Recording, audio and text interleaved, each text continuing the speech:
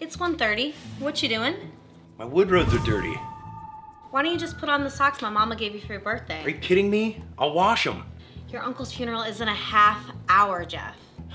Look, these aren't alpaca. They don't have hollow core thermal technology or a comfort footbed, let alone a seamless Durato design. They're not my Woodroads. They're clean. Put them on.